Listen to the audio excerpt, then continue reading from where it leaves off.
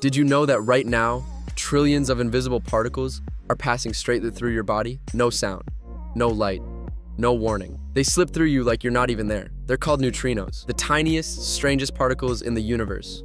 Born in the cores of exploding stars forged inside the sun, and even created in the first seconds after the Big Bang, they've been haunting the cosmos for 13 billion years. And here's the terrifying part. Neutrinos barely interact with matter at all. You could fire a neutrino at a wall of lead a light year thick, and it would pass through like it was empty space. So how do we study something that refuses to touch reality?